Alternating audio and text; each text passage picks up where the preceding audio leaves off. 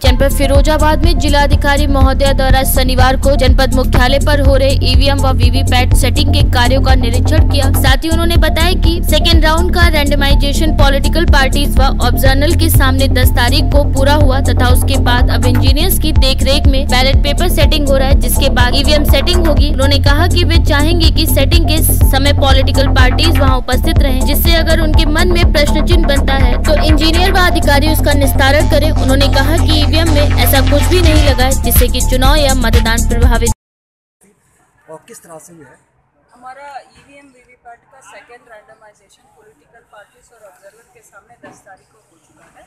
तो उस क्रम में अभी बैलेट पेपर्स हमारा आ चुका है। तो इसका सेटिंग कैंडिडेट सेटिंग अभी शुरू हो रहा है।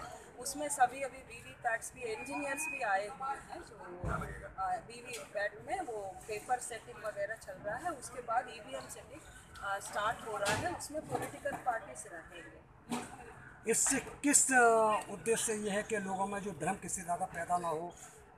इससे क्या मतदाताओं हम में? लोग इंसिस्ट कर रहे हैं मॉक पोल्स होंगे उससे।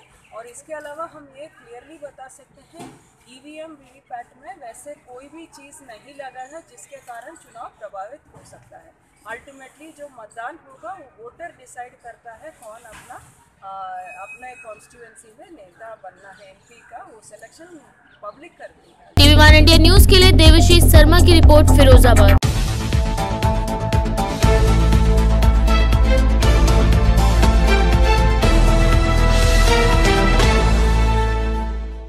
सूत्रों के हवाले से पता चला है कि दिनांक 15 अप्रैल को 10 बजे पूर्वांचल व बस्ती जनपद के कद्दावर नेता राजकिशोर सिंह जी का आगमन कांग्रेस पार्टी में ज्वाइनिंग के बाद पहली बार ज़िले में आगमन हो रहा है, जहाँ से कांग्रेस पार्टी ने इन्हें अपनी पार्टी का उम्मीदवार भी घोषित किया है। जानिए कौन है राजकिशोर सिंह जी, समाजवादी पार्टी के कद्दावर नेता व पूर्व कैबिनेट मंत्री, जो कई बार ज़िले में कैबिनेट मंत्री रह चुके हैं, जिसका भाई समाजवादी सरकार में ब्रज किशोर सिंह जी, ऊर्जा मंत्री, राज्य मंत्री थे। वही बेटा श्री देवेंद्र प्रताप सिंह, सानू बस्ती जनपद के युवा जिला पंचायत अध्यक्ष के रूप में कुर्सी पे विराजमान है। वही बस्ती जनपद लोकसभा की सीट सपा और बसपा के गठबंधन में यहाँ की सीट बसपा के खाते में चली गई जहाँ आरोप समाजवादी पार्टी और बसपा के गठबंधन उम्मीदवार राम प्रसाद चौधरी जी को घोषित किया गया। वही आरोप भारतीय जनता पार्टी ऐसी मौजूद सांसद श्री हरीश द्विवेदी, मैदान में राजकिशोर को कांग्रेस का उम्मीदवार बनाए जाने से बस्ती जनपद की राजनीति में एक नया भूचाल पैदा हो गया यह कायस यहाँ लगाया जा रहा है कि लड़ाई त्रिकोणीय हो गई। बस्ती जनपद की लोकसभा सीट किसके खाते में जाती है? कौन बाजी मारता है? यह कहना बहुत ही मुश्किल है। इसका फैसला आने वाले समय में बस्ती लोकसभा की जनता ही करेगी। टीवी वन इंडिया न्यूज़ के लिए दिवाकर शर्मा की रिपोर्ट, बस्ती यूपी।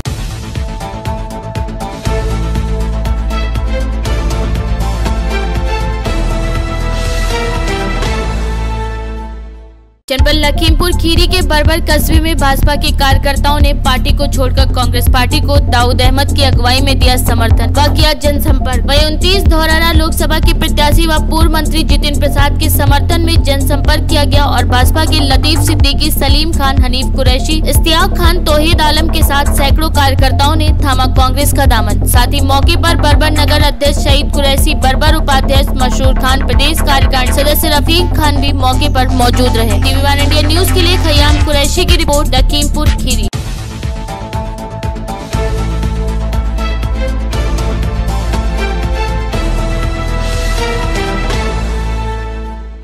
जनपद फिरोजाबाद के थाना जसराना क्षेत्र के कस्बा पाड़म जो परिच्छद नगरी के नाम से विख्यात है, बताया जाता है कि महाभारत काल के पांडवों के वंशज राजा परिचित के पुत्र जन्मेंजय ने अपने पिता की मृत्यु का बदला सर्व योनि से लिया था, जहाँ जन्मेंजय नागयज्ञ कुंड भी मौजूद है। वहीं इस कुंड पर एक काली माता का मंदिर भी काफ़ी पुराना बना हुआ है। वहीं पास में ही माता टीला धाम के नाम से मंदिर पर आज मेले का आयोजन हुआ, जहाँ काफ़ी दूर दूर से लोग अपनी मनोकामना पूर्ण होने पर नेजा चढ़ाने आए और मेले का आनंद लिया। यह मेला काफ़ी पुराना है, लेकिन इस परिचित नगरी पर पुरातत्व विभाग की आँखें बंद है। इस कस्बे में राजा परिचित नाम से कुआँ भी मौजूद है, जिसे देखने के लिए लोग यहाँ से दूर दूर से आते हैं। वहीं यहाँ पुलिस चौकी इंचार्ज रविंद्र सिंह ने महफोर्स के मेले में मौजूद रहे मेले की अर्थव्यवस्था को बनाए रखा, साथ ही पुलिस प्रशासन ने कठिन परिश्रम कर मेला कमेटी का सहयोग किया और मेला कमेटी के लोग अनिल शर्मा, राम रूप भट्ट, देव कुमार गुप्ता, प्रमोद कुमार, कंचन भट्ट एवं प्रबंधक कमेटी के कार्यकारिणी लोग मौजूद रहे। वही कमेटी प्रबंधक डॉक्टर कुलदीप कुलश्रेष्ठ का कहना है की पुरातत्व विभाग की नज़रों ऐसी दूर है। यह कस्बा अगर पुरातत्व विभाग की नज़र इस कस्बे पर पड़ जाए तो यह बैठक स्थल घोषित हो सकता है। यहाँ विकास की गंगा बहेगी। यहाँ के लोगों को नए नए काम मिलेंगे।